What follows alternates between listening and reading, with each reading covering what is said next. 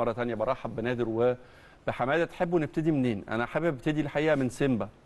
أه تعالوا نروح ماتش سيمبا. بما إنه طبعا بطولة جديدة بطولة عليها العين أه القرعة اللي وقعت الأهلي بطل أفريقيا في مواجهة سيمبا التنزاني. تقييمكم لسيمبا الأول قبل ما نستعرض نسخة سيمبا اللي هتظهر قدام النادي الأهلي. تجربة سيمبا في الكرة الأفريقية أو في البطولات الأفريقية في السنوات الأخيرة شايفينها إزاي؟ نادر.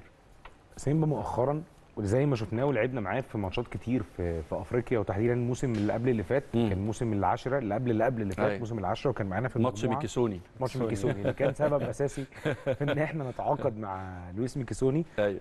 كان وقتها سيمبا بيضم على فكرة ناس كتير جدا ما تعرفش ده بس أنا خليني أقول لكم إنه ميكيسوني آه، آه، وده مش رايي الشخصي يعني آه، رأي خبراء كتير جدا شافوه آه، أو تابعوه.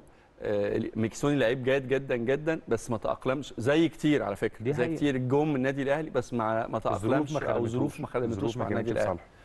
آه لكن هو إحنا شفناها مع سيمبا شفناها أيوة. في المباراة اللي كانت قدام قدام الأهلي وتحديدا اللي كانت آه في تنزانيا آه بعيدا كمان عن ميكيسوني السنة دي أصلا إحنا شفنا سيمبا والمش مش يعني الفترة دي المشروع بتاع سيمبا وطريقه تقديمهم للعيبة وطريقة الإعلام طبعا. بتاع سيمبا وطريقة الاستاد معايا أنتوا على. الهوا وإحنا بن؟ موجودين آه وكان وجمهور سيمبا نفسه ملعبهم صعب مش سهل. هم دايما بيكون عندهم قدره في في ال- في المباريات ال- الكبيرة في أفريقيا. يعني شفناهم قدام الفرق الكبيرة مش من الفرق اللي بتروح زي ما يقولوا كده إيه بتروح تاخد آه شنطة اجوان وتمشي. أيوه. لا فرق فرقة محترمة فرقة واقفة على رجلها فرقة كانت متواجدة في semi final السنة اللي قبل ال quarter final السنة اللي قبل اللي فاتت. آه، أعتقد وجودها أصلا بشكل عام في ال Super League ده اللي بيضم نخبة الأندية اللي موجودة في أفريقيا. ففكرة وجودها ده في حد ذاته أصلا بيترجم دي حاجة الحاجة. ترجم مدى الاحترافية اللي هم عليها. صحيح.